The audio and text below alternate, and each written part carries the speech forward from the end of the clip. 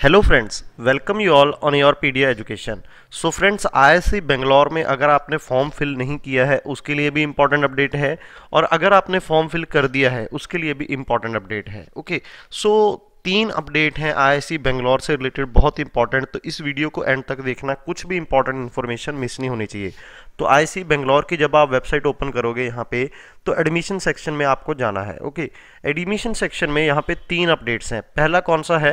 Revised selection criteria for admission कि admission पहले interview के बेस होती थी, लेकिन अब कौन कौन सा क्राइटेरिया है? अगर आप M Tech aerospace civil engineering computer science engineering instrumentation and applied physics material engineering में अप्लाई कर रहे हो, पहले कैसे था? 100% गेट और अब भी कैसे है? 100% गेट ओके और अगर बाकी ब्रांचेस की बात करें तो पहले था 70 परसेंट गेट 30 परसेंट इंटरव्यू लेकिन अब उन्होंने इंटरव्यू को खत्म कर दिया है टोटली गेट के ऊपर बेस्ड अगर क्लाइमेट साइंस की बात करो तो अब 70 percent GATE 30 percent C okay अब यहाँ पे सी क्या है? Career analysis marks CAM marks will be based on previous academic performance tenth twelfth UG etcetera it will be decided by respective departments okay तो यहाँ पे ये इन्होंने दिया है।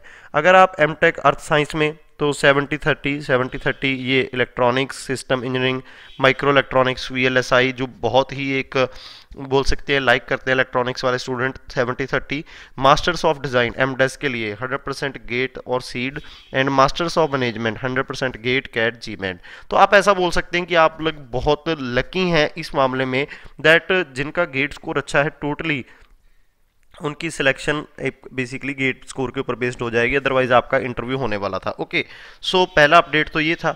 सेकंड अपडेट क्या है यहाँ पे उसको देख लेते हैं कि जो एडमिशन रिलेटेड डेट्स हैं उसको अपडेट कर दिया गया है। यहाँ पे extended last date for online application thirtieth April है and last date for submission of M Tech including sponsored वो कितनी थी? मार्च 23 तो इसको अपडेट नहीं किया है इन्होंने ओके तो यहाँ पे ये कुछ है, देख सकते हैं इंटरव्यू शेड्यूल वगैरह जो इन्होंने बोला था तो अब वो इंटरव्यू होगा ही नहीं तो इसका शेड्यूल का कोई मतलब नहीं बनता है ओके नाउ नेक्स्ट है, अगर आपने सीओएपी नंबर नहीं फिल किया था एक्चुअल फॉर्म फिल करते हुए पहले तो अभी आप अपडेट कर सकते हैं। कैसे अपडेट कर सकते हैं? यहाँ पर जब आप अप्लाई में जाओगे apply for post graduation programme and यहाँ पे देख सकते हो लॉगिन करना पड़ेगा आपको। लॉगिन के बाद फॉर एग्जांपल आपने इन प्रोग्राम्स में अप्लाई किया है। तो यहाँ पे update your national entrance test result के ऊपर क्लिक करो। देन यहाँ पे आपको कोर्स सेलेक्ट करना है एम टेक एम बिकॉज़ उसी के लिए सी नंबर रिक्वायर्ड है। देन यहाँ पे सी नंबर क्लिक करके इसको सेव कर दो। ओके okay फ्रेंड्स तो ये इंपॉर्टेंट इन्फॉर्मेशन थी। आई होप ये वीडियो आपको हेल्पफुल रहा होगा। सो so, वीडियो को लाइक करो शेयर करो एंड चैनल को सब्सक्राइब ज़रूर करना। एंड कमेंट ज़रूर किया करो यार। Okay okay? So stay safe, stay at home, stay healthy. Thank you friends.